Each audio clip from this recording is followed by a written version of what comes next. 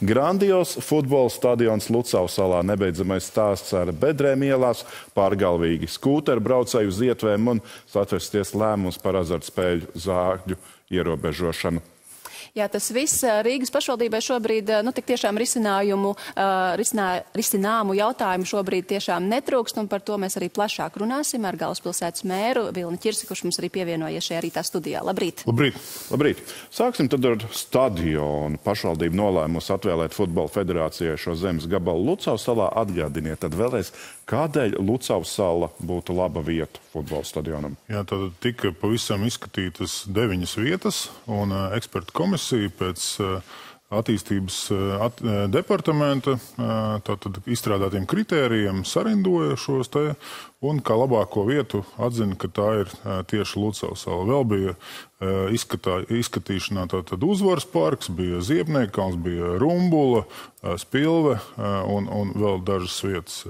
Bet tieši tātad no tātad tuvums centram bija tāds ļoti svarīgs apstākļus, ja, jo brīdī, kad beidzās, nezinu, pieņemsim kādu futbola spēli vai koncerts, lai cilvēki var arī ar kājām, piemēram, aiziet uz centru, iepratīm, piemēram, ne, no Juglas vai no Rumbulas vai no Spilvas, tas īsti nebūtu iespējams.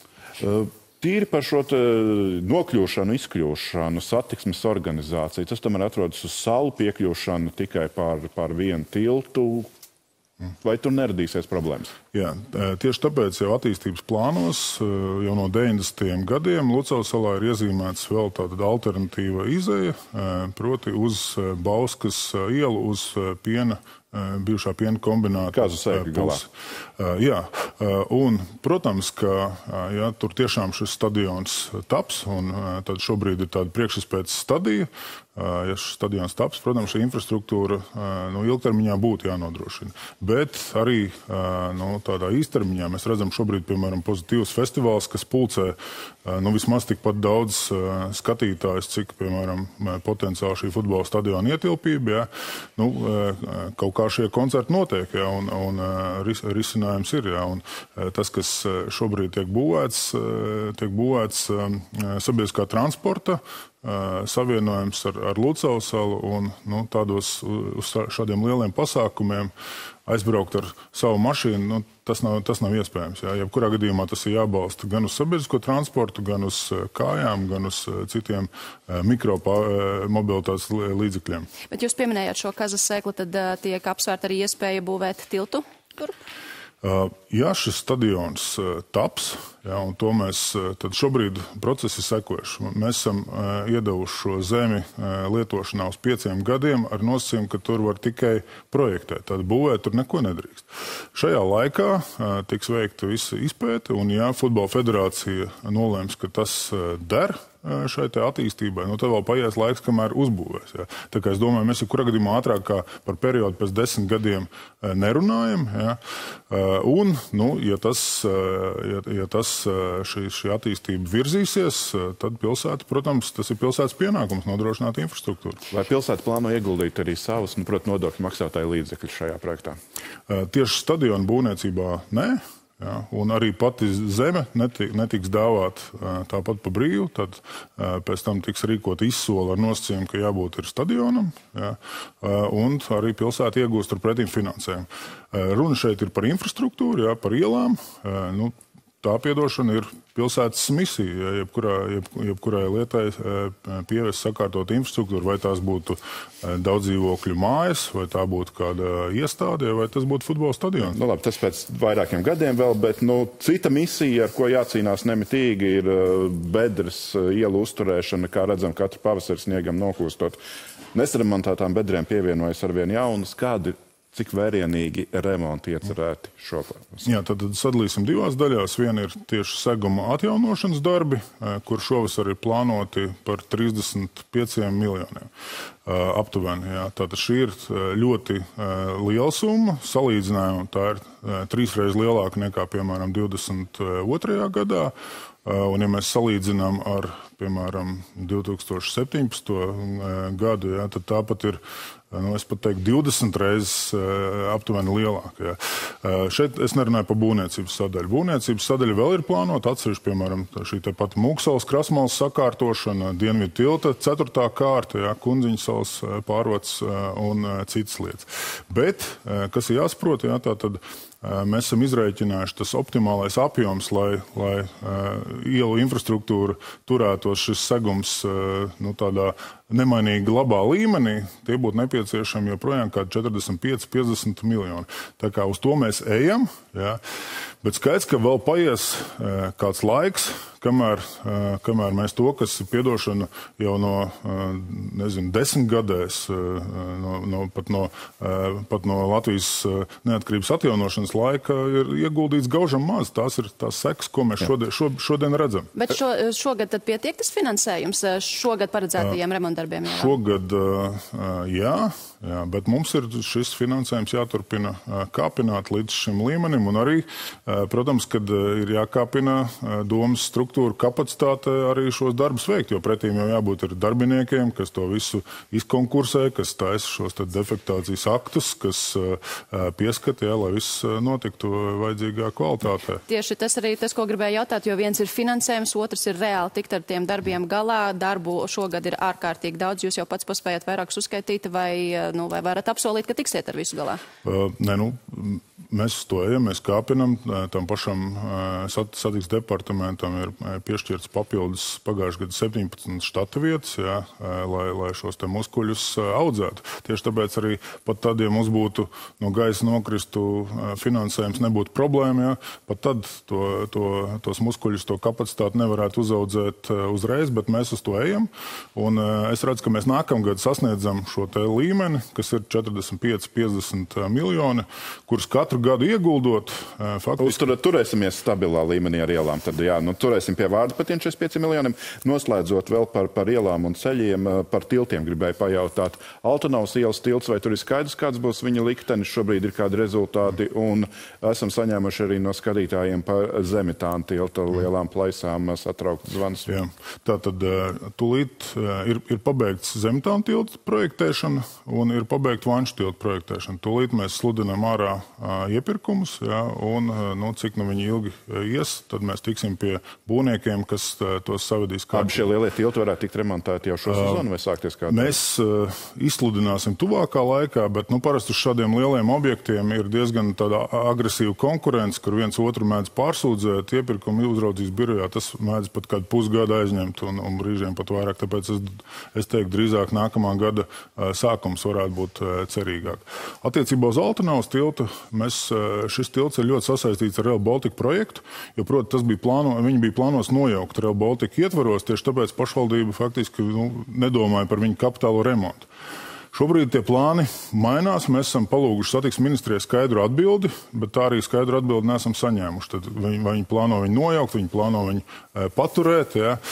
E, līdz ar to mēs nu, šobrīd esam faktiski e, nezinām, uz, uz kurien šo soli spērt. Jā, bet šim tiltam nu, ir problēmas un, un iespējams pat nāksies ierobežot satiksmi.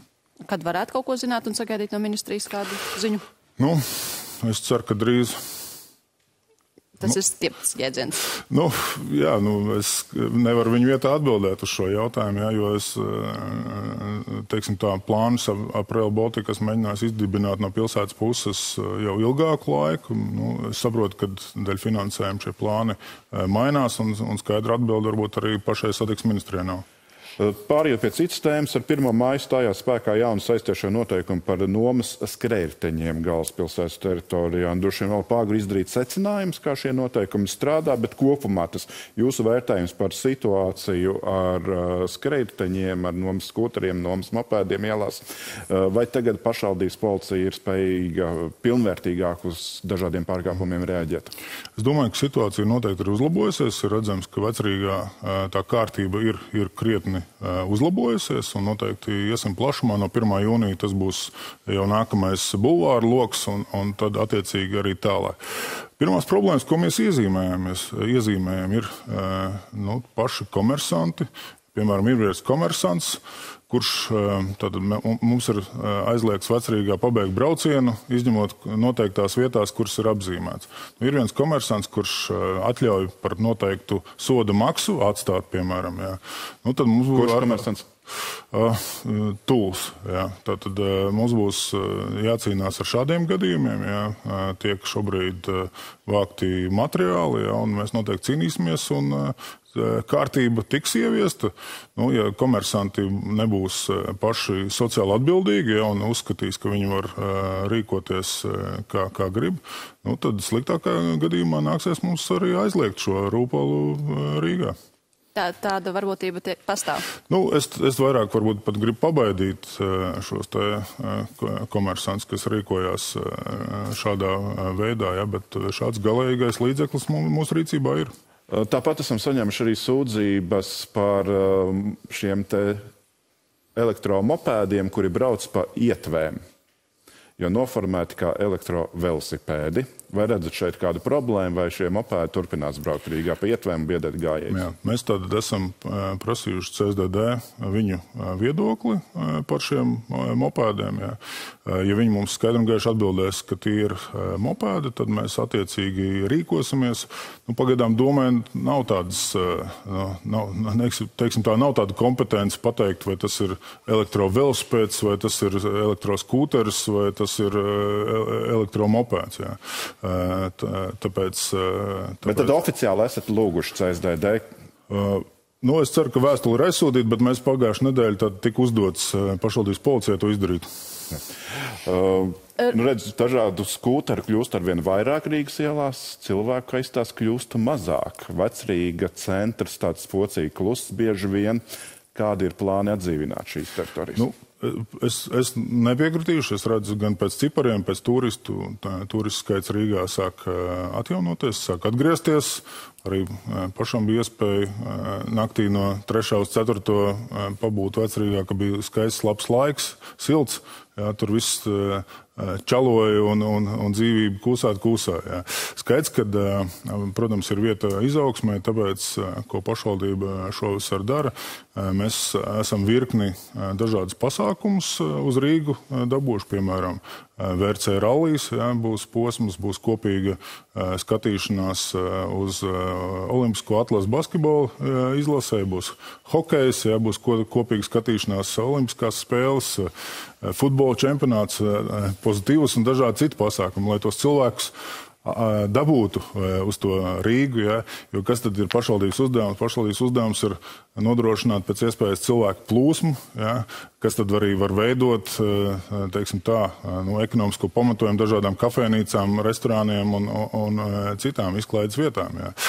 Nu, to arī darām, uz to ejam. Papildus esam plānojuši arī vērienīgu labiekārtojumu programmu šogad vecrīgā, dažādus soliņus augus, dažādas instalācijas bērniem un tā tālāk. Nu, tas ir par turismu, bet īsumā par patstāvīgajiem iedzīvotājiem, jo es saprotu, to skaits gan, jā, tur sarūko, un tad vai tad sanāk, ka Rīga galvaspilsēta kļūst nesimpātiski? Šobrīd, šobrīd centrā iedzīvotāju skaita kritums ir apstājies, viņš stāv uz vietas, bet skaits, ka ir jādomā, kā viņu atgriezt.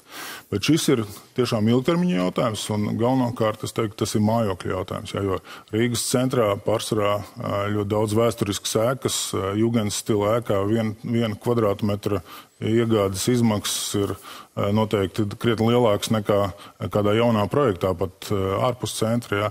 Tas ir komplekss jautājums, lai attīstītājiem radītu interesi šīs ēkas atjaunot, nu, kādu bonusu vai nodokļu atlaides. Mēs šobrīd strādājam pie Rīgas vēsturiskā centra atdzīvināšanas plāna, un tuvākā laikā nāksim klajā ar to, kād, kādas tas paredz galvenās lietas, ja, bet nu, tur ir kompleksi risinājumi. Bet es redzu, ka mājokļu jautājums ir numur viens visā, visā šajā stāstā. Varbūt kāds bonus būtu nepieciešams, lai Rīgas mērs no Garkalnas atgrieztos dzīvot Rīgā. Man dzīve sadalās starp divām pašvaldībām. Nu, es saprotu, ka mani politiski oponenti ļoti vēlās uz, uzsvērt teiksim, otro vietu, ja, bet ar, ar šo visu kārtībā. Paldies. Labi, cerams, ka arī mums ar iedzīvotāju skaitu Rīgā viss būs kārtībā. Paldies, vislabāk. Paldies.